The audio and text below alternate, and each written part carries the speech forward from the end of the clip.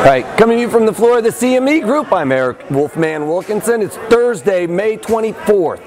Let's get in the zone, the cash money zone. Well, the EU summit went off yesterday. Well, without any hitches, I guess, is what you could say, because they didn't get anything accomplished yet again.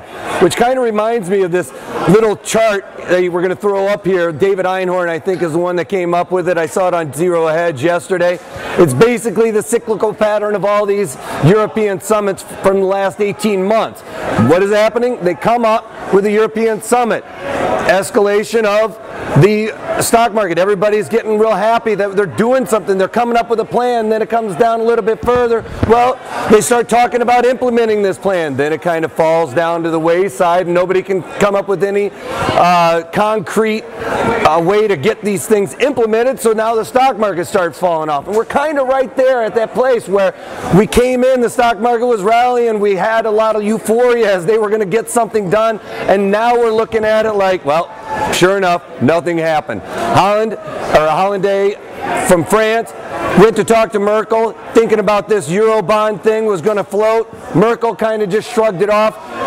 Holland saying, well, this is the start of the talks of the Eurobond, and Merkel saying, well, no, this is actually the end of the talk of the Eurobond. And the Dutch and the Finnish are not even going to be involved in it at all. They're even more point blank saying that they don't want any of this debt. The problem is, right now, is you have a work ethic in the northern part of the region, and in the southern part, it's a, a laissez-faire, you know, who gives a care?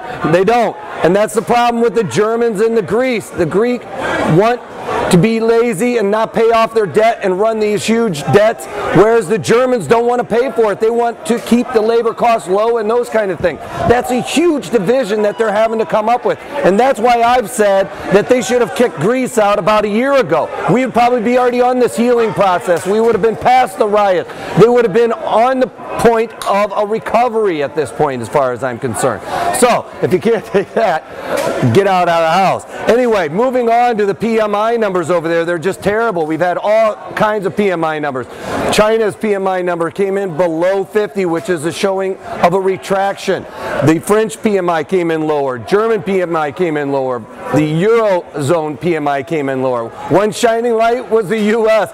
We may be the ones to try and pull the world out of this global recession. We're showing expansion in the market, and our flash PMI came in 54 point something or other. Anything above 50 is showing the market is expanding. So that's a good thing here in the United States. That's kind of kept the equity markets up here a little bit buoyant. We're kind of sticking around this 1305 to 1312-ish area, which is becoming a real uh, area of trend right now. Until anything happens out of the EU, I don't expect to see anything different happen. Dollar's starting to gain strength. It's causing all of these markets pretty much to come off a little bit. All the rumors of China uh, backing out of all of their grain supplies that they bought is actually starting to look like that's pretty true. And now it's starting to come out that they're they're backing out of steel purchases, coal purchases, cotton purchases. So things aren't looking too good over there in China. Again, their PMI, GDP, everything is starting to look like it's starting to pull back a little bit.